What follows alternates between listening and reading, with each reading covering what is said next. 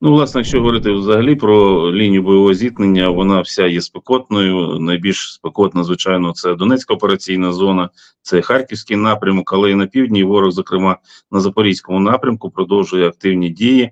Якщо ми беремо, наприклад, район Старомайорського, урожайний Времівський виступ, це там, де ворог е, хоче зрізати цей клин, який війшов в його оборону ще минулого року, коли наші війська якраз і звільнили Старомайорське, Роботино і тоді завдали е, поразки ворогу, то власне з того часу ворог і намагається наші війська звідти підрозділи вибити. Якщо говорити про Роботино, то ситуація наразі я думаю багатьом відома. Роботино це сіра зона.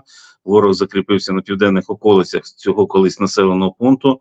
Е, колись населеного пункту, тому що він залишився лише на жаль на мапі. Все інше просто знесено. Це відкритий степ, відкрита зона, яка є е, ураженою з нашого боку вогнем. Звичайно, і ворог теж наносить відповідні удари, але немає зовсім не стоїть питання про те, що ворог, начебто, повністю оволодів цим населеним пунктом і цією локацією. Тобто, вогневий контроль з нашого боку артилерійський він є, і будь-які просування ворога вони відразу на цьому і закінчуються. Ну от активність біля Старомайорського ворог е, дуже проявляє себе активно намагається атакувати з механізованою компонентою. Старомайорських цікавить саме з тієї точки зору, що я вже сказав, зрізати той виступ, який сьогодні несе там певну загрозу для позиції ворога. І, власне, найголовніше завдання для росіян вирівняти тут лінію бойового зіткнення. Тому застосовує, звичайно, я вже сказав, артилерію, застосовує авіаційну компоненту, застосовує. Е, ракетні системи залпового вогню, тобто все максимально, що в нього є, аби просунутися, закріпитися і власне планувати подалі свої наступні дії. Ну і власне по урожайному, в тому числі, що стосується лівобережжя, то звичайно це теж південний напрямок. Намагається ворог проводити певні дії щодо плацдармів в районі населеного пункту Кринки. Я сказав плацдармів саме, тому що не кринками єдиними. Е, це по перше, і по-друге, ворог намагається періодично робити вилазки в бік е, наших Дніпровських островів, зокрема острів Нестрига, де намагається застосовувати плав, плавзасоби будь-які. Е, мова йде про легкі човни, про більш важкі там десанту, десантування проводити, але десантування закінчується тим, що вони закріплюються на позиціях, але ці позиції є підводні. І ці десантні групи, диверсійно-розвідувальні групи, вони знищуються. Проводяться відповідні заходи, зрозуміло, з нашого і з ворожого боку щодо мінно-вибухового обладнання позицій, аби не допустити проникнення на е, ті позиції, які на сьогодні нами закріплені. З'являються повідомлення від окремих політиків, що мовляв, роботини і кринки вони не контролюються, вони вже не наші. Ось таке формулювання. Можете, будь ласка, уточнити, е, наскільки це відповідає дійсності?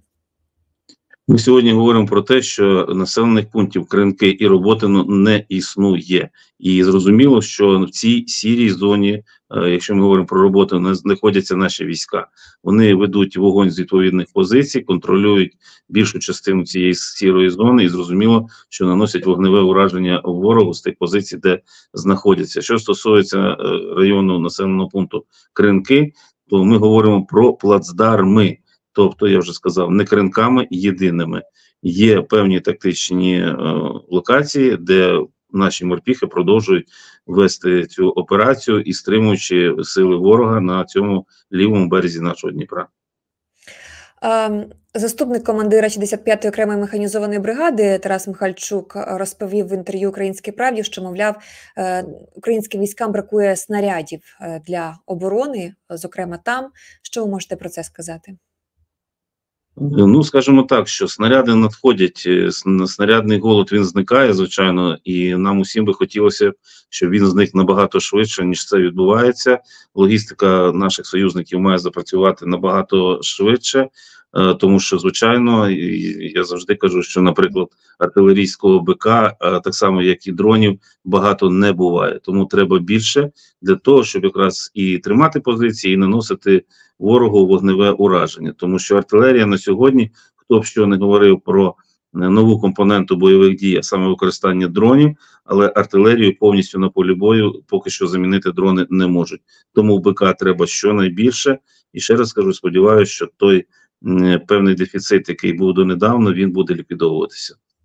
Е, Також ем, е, сили спеціальних операцій е, говорять про те, що російські війська перекидають свої сили саме на е, з Херсонської області на Харківський Харківський. напрямок. Так, 8 червня з'явилася інформація. Мовляв, йдеться про операторів дронів. Також ем, це мовляв в зв'язку з поповненням втрат. Що вам про це відомо? Ну, по-перше, дійсно на харківському напрямку ворог несе рекордні втрати. Він не досяг жодних оперативно-стратегічних цілей, які перед собою ставив. Хоча я думаю, що зараз буде продовжувати відповідну свою харківську наступальну самовбивчу операцію, яку він собі запланував і проводив. І, власне, бачимо сьогодні. Я вже сказав, не досяг своїх відповідних е, цілей.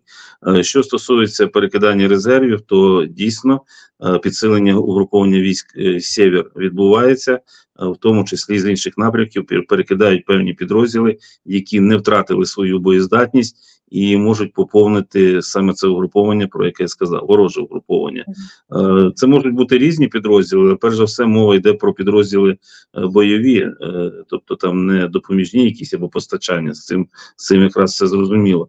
Тому дійсно інформація така присутня, і перекидання таких підрозділів може відбуватися з будь-якого напрямку, в тому числі і південного.